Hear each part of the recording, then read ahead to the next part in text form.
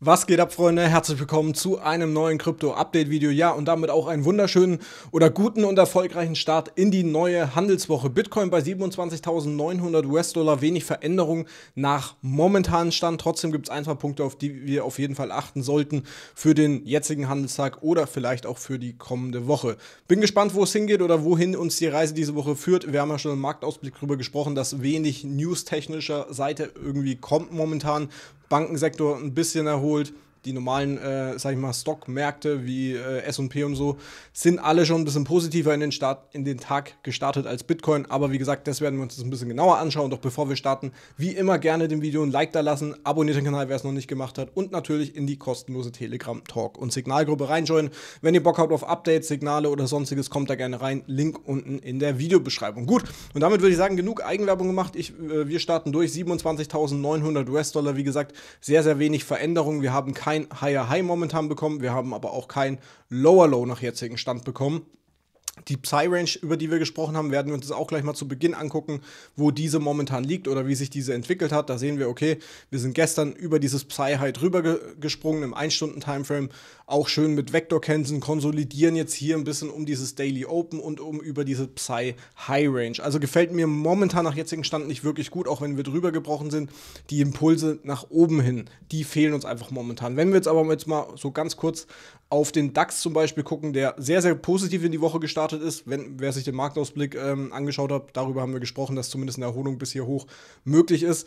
Und dann Bitcoin so ein bisschen vergleichen, sehen wir, da fehlt noch ein bisschen die Impulsivität. Die könnte aber dann kommen, sobald die US-Märkte aufmachen. Deswegen gehe ich erstmal noch ein bisschen zumindest davon aus, dass wir uns zumindest mal hier oben den Bereich um 28.200 US-Dollar holen. Ich mache den Indikator mal ganz kurz aus, weil wir schauen uns dann auch mal hier ganz kurz FIP-Level ziehen von unserem Abverkauf. Da sehen wir, okay, hier oben befindet sich unser Golden Pocket. Hier wurden wir bereits zweimal rejected, äh, umso öfter wir natürlich in diese Box reinkommen, desto öfter oder desto leichter wird es da durchzubrechen. Weil ihr müsst euch das so vorstellen, stellt euch wie eine Wand vor, umso öfter ihr dagegen klatscht, irgendwann bricht sie zusammen. Und das war jetzt eben schon das dritte Mal oder das zweite Mal, besser gesagt jetzt hier. Beim dritten Mal gehe ich davon aus, dass wir hier nochmal durchbrechen und dann weiterhin die Zielzone hier oben, diese 29.200 bis 29.400 US-Dollar antesten. Möglicherweise sind sogar 30.000 äh, US-Dollar drin oder knapp 30.000 US-Dollar, weil hier oben das 1618er von dieser Bewegung hier oben eben liegt und natürlich unser übergeordnetes 1618er auch. Also ihr seht die, ähm,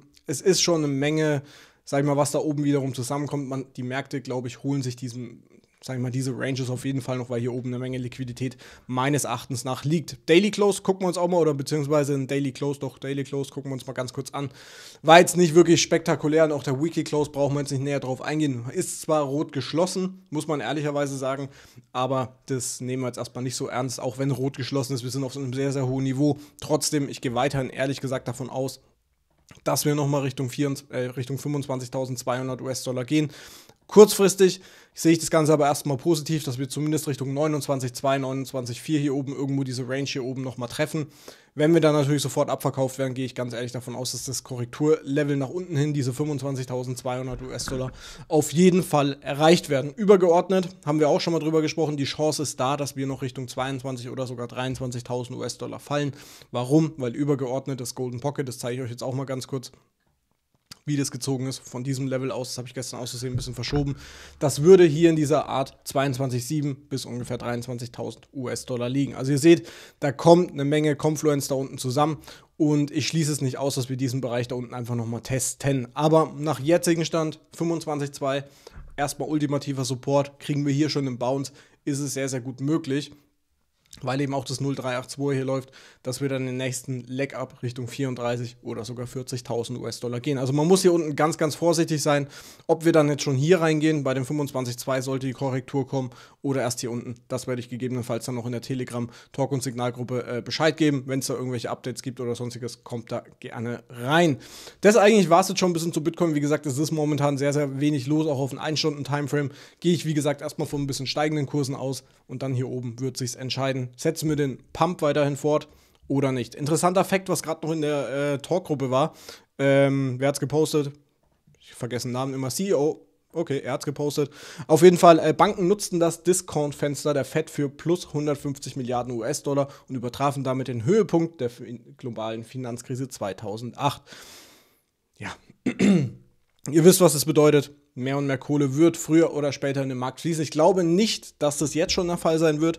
Ich glaube aber, dass es sich nicht mehr lange aufschieben lassen kann, dass hier weiterhin oder wieder Geld gedruckt wird. Ihr müsst euch überlegen, 600 Milliarden US-Dollar wurden aus der Supply, sage ich mal, rausgenommen von der Fed und 400 Milliarden innerhalb von zwei Wochen wieder in den Markt gepumpt. Und ich glaube, das ist nicht das Ende der Fahnenstange. So, dann gehen wir rüber zu Ethereum. Hier hat sich noch weniger getan. Hier gilt weiterhin unsere Range. Ihr seht hier diese Range. Wir haben unsere, unser, ähm, unsere Posi hier unten abgeholt, wo ich im Video drüber gesprochen habe. Hier dieses Tief wollten wir uns holen. Hat perfekt ausgespielt. Wir haben uns nochmal hier diese Range, diese gelbe, nochmal geholt, haben aber dann beim zweiten Impuls leider nicht mehr genug äh, Liquidität vorhanden gehabt, um den Trend, sagen wir mal, weiterhin nach vorne zu setzen. Deswegen übergeordnet einfach riesige Seitwärtsrange. Das ist momentan das, was gilt. Wir haben kein Daily Close unter dieser Range von 1730 US-Dollar gesehen. Somit sind wir weiterhin Konsolidierungsphase. Nur hier sehe ich das Ganze ein bisschen bearischer. Wenn jetzt Bitcoin natürlich nach oben bricht, ist Ethereum auch ganz klar, dass wir weiter nach oben steigen. Aber hier, wie gesagt, ein bisschen bearischer, weil wir eben diese Seitwärtsrange haben und wir nach oben hin sagen wir mal, vier bis fünf Punkte nur haben. Bei Bitcoin, äh, bei, äh, am unteren Rand haben wir viel, viel mehr Berührungspunkte. Also da muss man ein bisschen vorsichtig sein.